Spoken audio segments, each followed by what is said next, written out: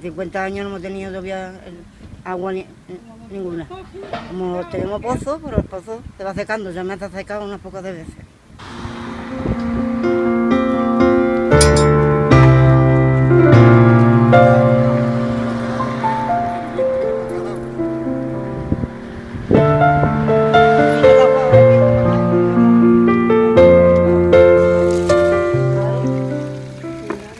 el latón, o voy cogiendo agua para fregar, para, para, limpiar y para eso. Y, pa- y- y mi marido lo tengo que estar duchando con el cubito así por lo alto, ¿eh? refregando y sale por lo alto, y después de poner así ya, como lo tengo enfermo, ya tiene Alzheimer, pagamos siempre la contribución, nosotros ta- estamos al día, que no es decir que no tenemos atraso ni tenemos nada, y pagamos, pa- pagamos todo.